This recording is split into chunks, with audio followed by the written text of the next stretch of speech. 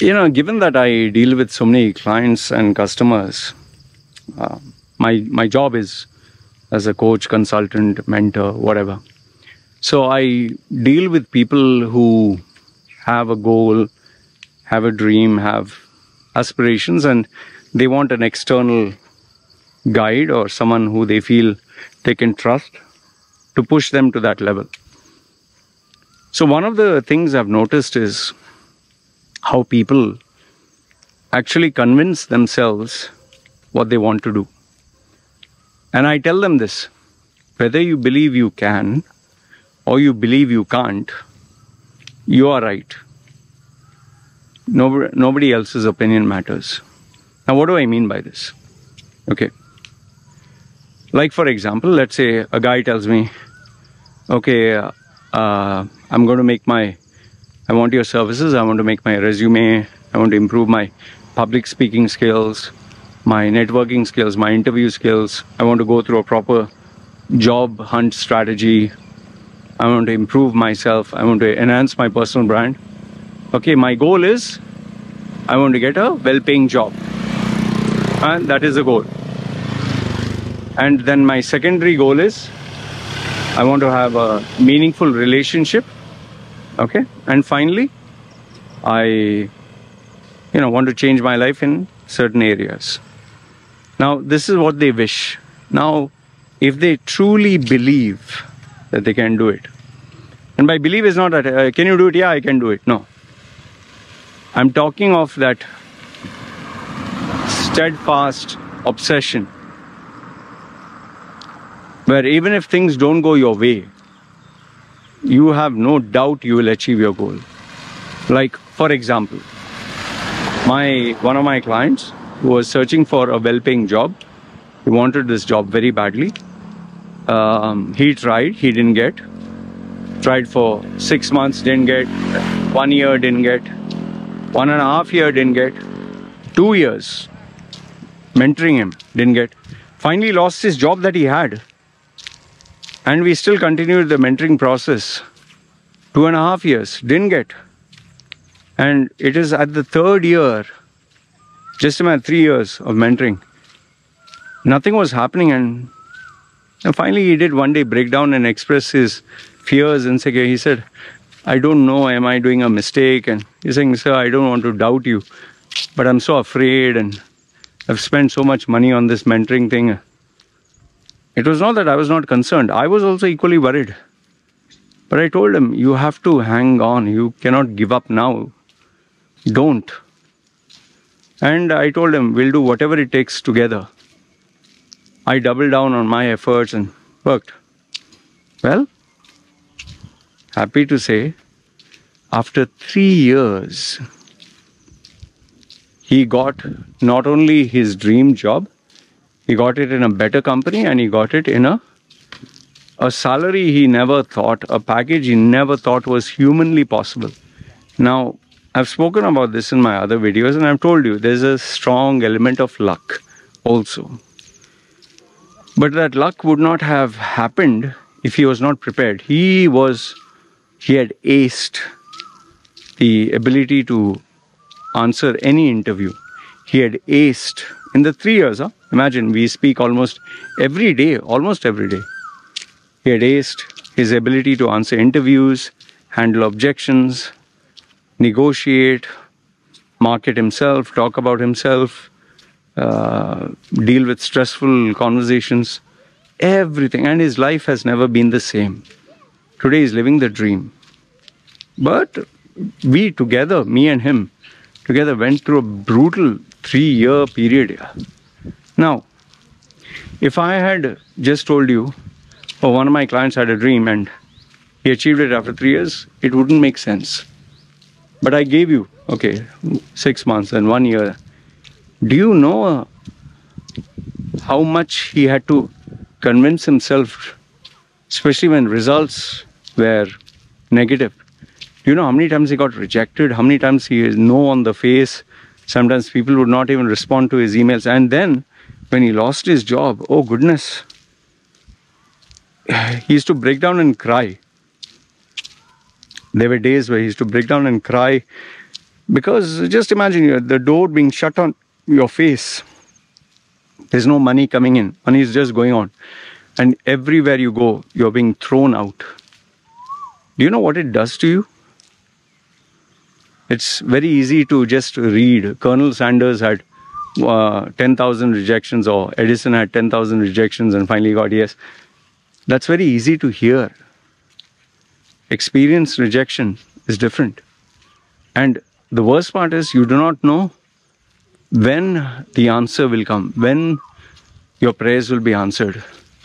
You can go, who knows? See, it happened after three years.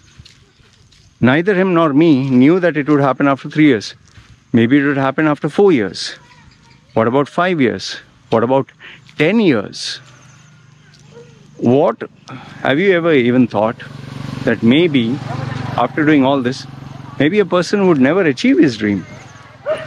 Do you know how many film actors, actresses, do you know how many movie stars uh, or aspiring movie stars want to make it a career or want to succeed and they're just living hand to mouth?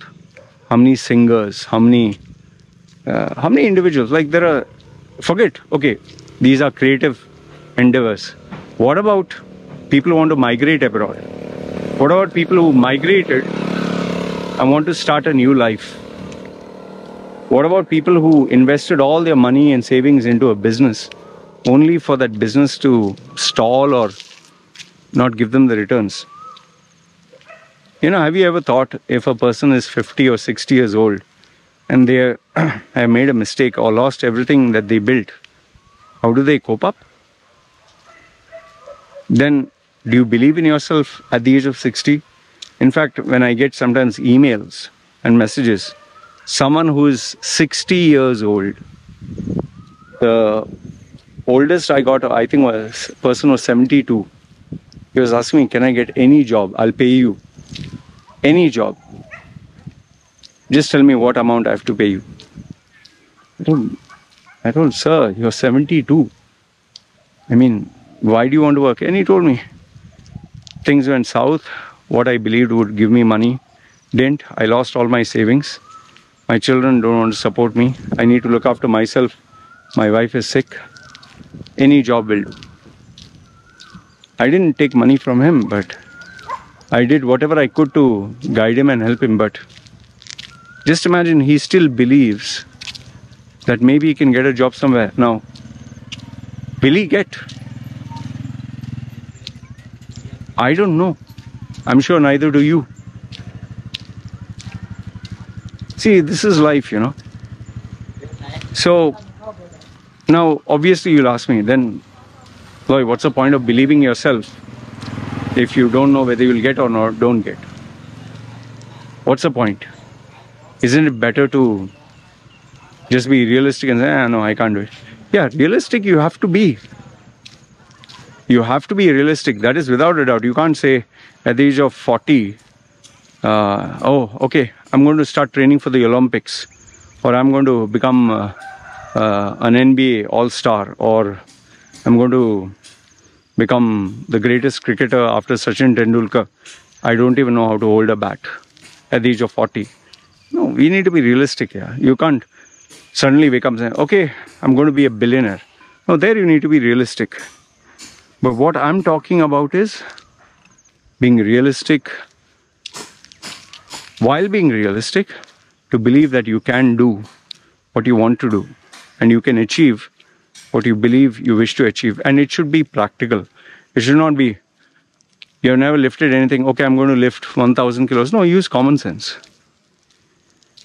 but self belief let me tell you you know see like they say you know just because you have self belief doesn't mean you'll achieve the sun, moon, and stars. Okay? But not having self belief, it's impossible for you to achieve. I give you the example of my client.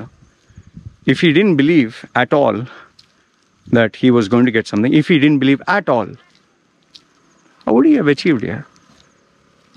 You have to believe, no? So if he says, No, I don't believe, then the whole process is a waste. But if he has hope, if he believes and he works towards his goal, yes, he will achieve it. So, what I want to leave you with is a very simple uh, theory, very, very simple. Yes, you must be realistic, okay? Yes, you must have a goal that is slightly higher than what you are, like 20% more, okay? Or say, don't go way overboard. Like if you have never done exercise in your life and you your goal is to be like David Goggins, uh, all the best. But if you have never done exercise in your life and your goal is, I just want to, I've never done one kilometer, I'll try one kilometer, fine, that's doable. Or if you're doing one kilometer and say, I'll try to do 10, doable. But if you have never done any bodybuilding or powerlifting, I want to be the world's strongest man. No. Also, you need to consider variables, age and your capacity and industrial changes and you know changes in the industry and you know AI and careers and because remember a lot of the careers as you go with time they vanish. So keeping all that in mind then comes self-belief. You must believe in yourself very strongly. You must.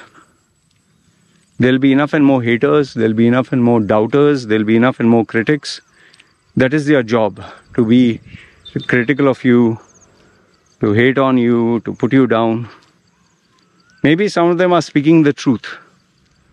That if you're 50 and you say i want to be some let's say get your brain sorted out here but otherwise without self-belief you'll not achieve your goal. So that is why when i talk to my clients i first ask them tell me honestly how much do you believe? Why do you believe? What drives you to believe? What is that deep root that root cause that makes you believe this? Why do you believe you'll not fail? And once you reach that core, no, then you'll understand whether they can or cannot do it. And then whether they say, yes, I can do it, they're right. Or if they say, no, I can't do it, then you're right. Remember, it's not my job to change a person's belief if the person already believes in something. Anyway, we learn from life. Let me know your thoughts okay? And yeah i'm sure you'll have a question or you'll have an objection. Feel free write it down below. You know i always read it. And uh, if it's worth giving a response, you will hear my response to it. You guys take care. This is me signing off. Ciao.